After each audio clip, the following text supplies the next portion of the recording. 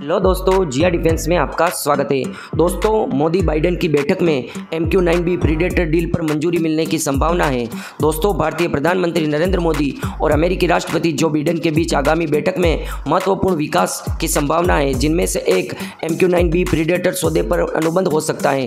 दोस्तों, इस बैठक में कई द्विपक्षीय मुद्दों को संबोधित करने की उम्मीद है, जो इस महत्वपूर्ण रक्षा समझौते को अंतिम रूप देने का मार्ग प्रशस्त कर सकती है। दोस्तों, भारतीय सशस्त्र बलों मतलब armed force one 1.8 billion dollar के सौदे में 18 M Q nine B predator drone हासिल करने की योजना तैयार कर रही है। इस समझौते के हिस्से के रूप में भारतीय सेना, भारतीय वायुसेना और भारतीय नौसेना प्रत्येक को छह ड्रोन प्राप्त होंगे। प्रत्येक विभिन्न संवेदी पेलोड से लेस होंगे। मतलब प्रत्येक ड्रोन सभी प्रकार के पेलोड से लेस होंगे। दोस्तों, भारत के medium altitude long endurance male और high altitude long endurance hale class unmanned aerial vehicle UAE programme को अतिरिक्त बढ़ावा देने के लिए M Q nine B predator के निर्माता जनरल एटोमिक्स ड्रोन के कुछ स्थानीय निर्माण करने का इरादा रखते हैं। कंपोनेंट वैश्विक सप्लाई चेन में योगदान करते हैं। दोस्तों मानव रहित हवाई वाहन U A M Q nine B predator अपनी उन्नत निगरानी और रिकॉग्नेंस के लिए प्रसिद्ध हैं। भारत ने अपनी रक्षा क्षमताओं को बढ़ाने और संवेदनशील क्षेत्रों में सीमा निगरानी बढ़ाने के लिए संयुक्त राज्य अमेरिका इन ड्रोनों को खरीदने में रुचि व्यक्त की है।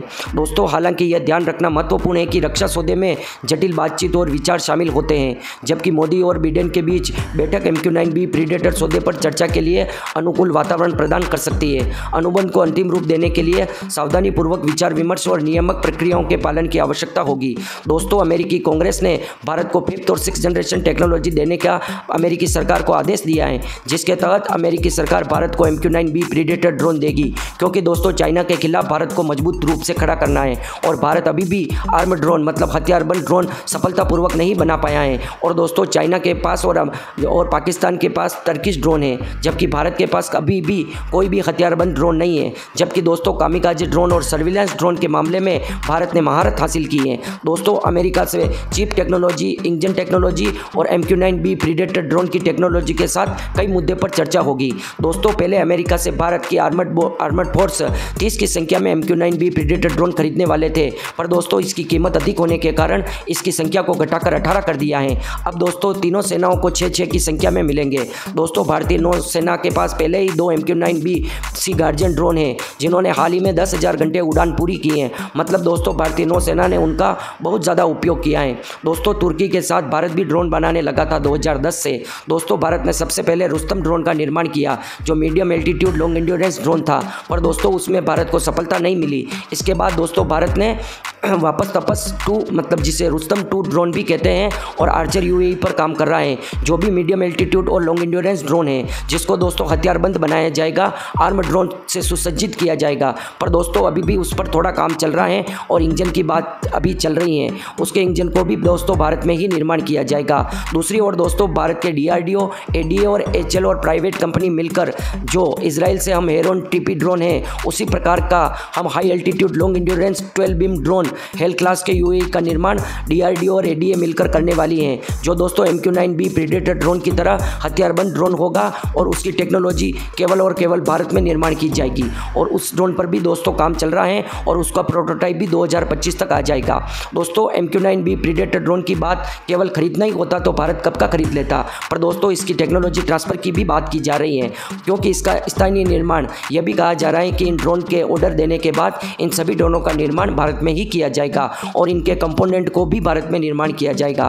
ताकि अमेरिका का यह भी कहना है कि अगर M Q nine B predator drone और कोई दूसरा देश भी खरीदता है तो उनको कंपोनेंट और सप्लाई चेन भारत से दी जाए। मतलब कंपोनेंट भारत से एक्सपोर्ट करे जाए। तो ये भारत के लिए दोस्तों विन विन सिचुएशन है और M Q nine predator drone दुनिया का सबसे सर्वश्रेष्ठ ड्रोन है।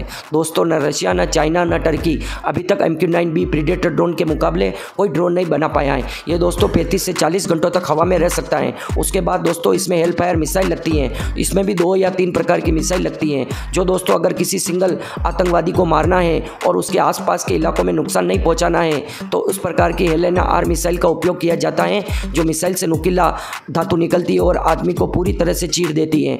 और दोस्तों अगर कहीं बमबारी करनी है और बड़ा हमला करना है तो हेल्प फायर मिसाइल और एंटी टैंक मिसाइल का उपयोग करके आतंकवादियों को खत्म किया जा सकता है। दोस्तों, भारत को टू फ्रंट वार का खतरा होने की वजह से भारत के पास अभी भी सर्विलेंस ड्रोन के अलावा कोई भी आर्म ड्रोन नहीं है। दोस्तों, ये बात तो कहनी पड़ेगी कि जब से डिफेंस के क्षेत्र में भारत की प्राइवेट कंपनी कंपनियाँ कूदी हैं, तब से भारत सर्विलेंस ड्रोन के मामले में और कामिकाजे ड्रोन के मामले में तो इतनी महारत हासिल कर ली है कि भारत ने बहुत सारी कंट्री को एक्सपोर्ट करने लगा है कामिकाजे ड्रोन।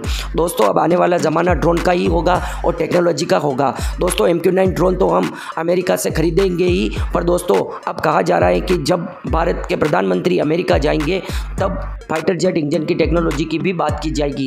और अभी जो दोस्तों, जापान में जी सेवन की मीटिंग हो रही है, वहाँ पर M Q nine predator drone की बातचीत हो सकती है और जब प्रधानमंत्री अमेरिका जाएँगे, वहाँ डील को फाइनल साइन कर दिया जाएगा। उसके बाद इन ड्रोन को दोस्तों, भारत में निर्माण करना शुरू कर दिया जाएगा। दोस्तों, आपकी क्या राय है? आपकी राय हमारे लिए महत्वपूर्ण है। कमेंट बॉक्स में ज़रूर लिखें। जय हिंद, जय भारत।